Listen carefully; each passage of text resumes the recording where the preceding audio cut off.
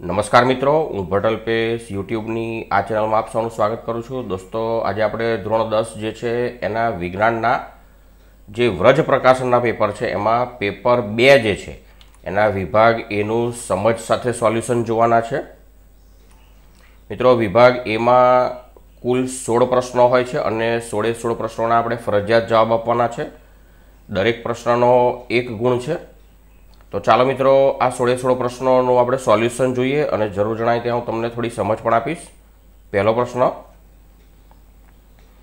મીણબત્તીનું સળગવું એ કેવો ફેરફાર છે? ભૌતિક કે રાસાયણિક? મિત્રો, મીણબત્તીનું જે સળગવું જે છે એ ભૌતિક તેમજ રાસાયણિક ફેરફાર છે. તો કેવી રીતે? તો ભૌતિક ફેરફાર એટલા માટે કે જ્યારે મીણબત્તી સળગે છે, ત્યારે મીણબત્તી જે છે એ ઘન સ્વરૂપમાંથી પ્રવાહી સ્વરૂપમાં ફેરવાય છે. આ ઉપરાંત મીણબત્તી જે છે એ હાઇડ્રોકાર્બન છે. એટલે એનું દહન થાય છે ઓક્સિજનની હાજરીમાં અને કાર્બન ડાયોક્સાઇડ અને પાણીની વરાળ બને છે. સાથે સાથે પ્રકાશ અથવા તો શક્તિ ઉત્પન્ન થાય છે એટલે રાસાયણિક ફેરફાર થશે. એટલે અહીં આગળ મીણબત્તીનું સળગવું જે છે એ બંને ફેરફાર છે, ભૌતિક તેમજ રાસાયણિક. બીજો પ્રશ્ન, મંદ એચસીએલના કોઈ પણ બે કાર્યો લખો. તો મંદ એચસીએલનું પહેલું કાર્ય આપણો જે જઠર છે એમાં જઠર રસ હોય છે. એમાં એસિડિક માધ્યમ બનાવે છે અને એનો બીજું કાર્ય અથવા તો ઉપયોગ જે પેપ્સિનોજન ઉત્સેજક હોય છે જઠરમાં, જે નિષ્ક્રિય હોય છે. એને સક્રિય પેપ્સિનમાં આ મદદ સીએલ ફેરવે છે અને આ જે પેપ્સિન છે એ પ્રોટીનના પાચનમાં આપણને મદદ કરે છે. લેન્સનું સૂત્ર આપવાનું છે મિત્રો આપણે. તો પ્રચલિત સંકેતોમાં લેન્સનું સૂત્ર આ પ્રમાણે છે. એકના છેદમાં વી ઓછા એકના છેદમાં યુ બરાબર એકના છેદમાં એફ. જ્યાં વી બરાબર પ્રતિબિંબ અંતર છે, યુ બરાબર વસ્તુ અંતર છે અને એફ જે છે એ લેન્સની કેન્દ્ર લંબાઈ છે. ચોથો પ્રશ્ન સીએફસીએસનો ઉપયોગ શામાં થાય છે? તો સીએફસીએસનો ઉપયોગ રેફ્રિજરેટરમાં રેફ્રિજરન્ટ તરીકે થાય છે અને આ ઉપરાંત અગ્નિશમનમાં એટલે કે આગ ઓલાવવા માટે થતો હોય છે. તમે રેફ્રિજરેટર અથવા તો કોઈ એર કન્ડિશન જુઓ, તેમાં આર લખેલો હોય છે મિત્રો, એટલે આ રેફ્રિજરન્ટ અથવા તો રેફ્રિજરેટરમાં રેફ્રિજરન્ટ તરીકે સીએફસીનો ઉપયોગ થતો હોય છે. પ્રશ્નનો પ્રકાર બદલાય છે. આપેલા વિધાનો સાચા બને તે રીતે ખાલી જગ્યા પૂરો. પ્લાસ્ટર ઓફ પેરિસને પાણી સાથે મિશ્ર કરતા ખાલી જગ્યા બને છે. તો મિત્રો પ્લાસ્ટર ઓફ પેરિસને આપણે પાણી સાથે મિશ્ર કરીએ તો થોડી વાર રહીને સખત પદાર્થ બની જાય છે, જેને આપણે જીપ્સમ કહીએ છીએ. છઠ્ઠો પ્રશ્ન, શુક્રપિંડ ખાલી જગ્યા અંતસ્ત્રાવ ઉત્પન્ન કરે છે? તો શુક્રપિંડ જે છે એ ટેસ્ટોસ્ટેરોન નામનો અંતસ્ત્રાવ ઉત્પન્ન કરે છે.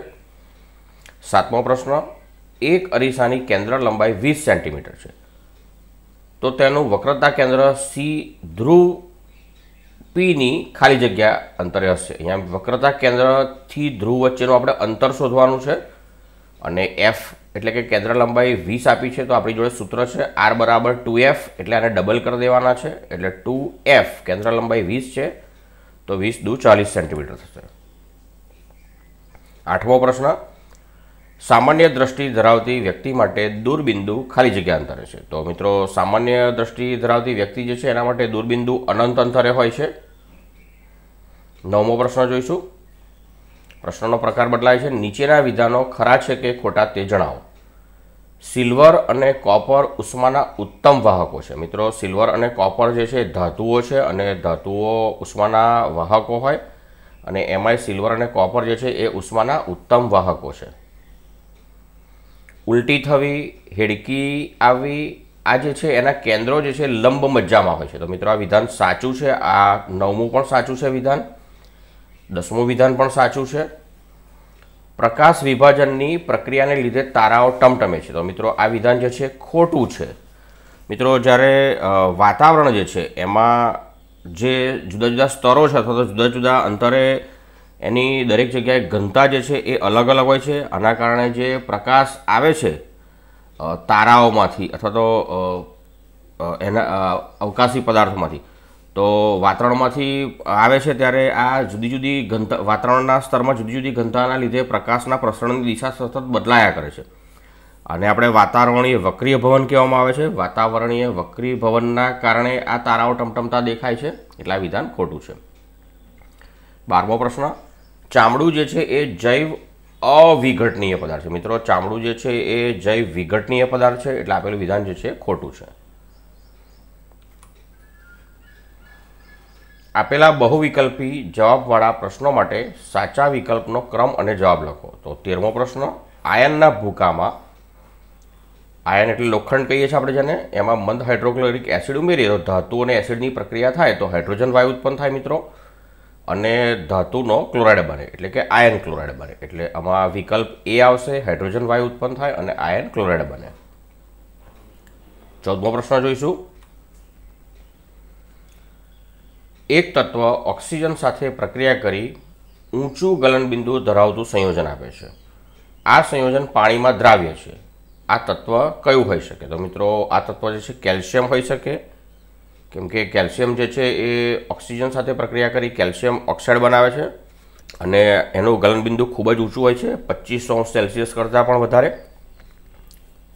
અને આ જે કેલ્શિયમ ઓક્સાઇડ જે છે, પાણીમાં દ્રાવ્ય હોય છે. પંદરમો પ્રશ્ન.